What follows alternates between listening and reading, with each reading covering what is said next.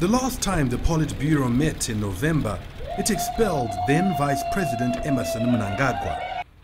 On Wednesday, Mnangagwa chaired the powerful gathering, this time as president. He will also officiate the ZANU-PF Extraordinary Congress on Friday. The final touches are being put to the Robert Mugabe Square, the venue for the ZANU-PF Extraordinary Congress. 6,000 delegates will meet in a compacted program which has been cut down from an initial six days to three days. The budget for the event has also been slashed, coming down from $8 million to $3 million, signaling President Mnangagwa's intent to reduce spending.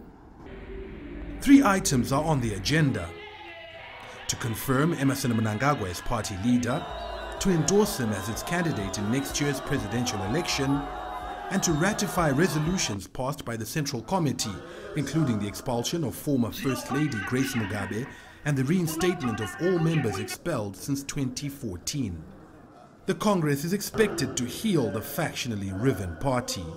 Want the Politburo to make a commitment to unite the party there is no more time for divisions, no more time for tribalism, no more time for nepotism. We expect uh, the leadership to commit to serious business of rebuilding the party and committing to bring programs that would develop the nation. Under Mnangagwa's leadership, ZANU-PF is seeking to win over the electorate by reviving the economy and improving social service delivery. The new dispensation was rejuvenated and reignited confidence and support across the nation.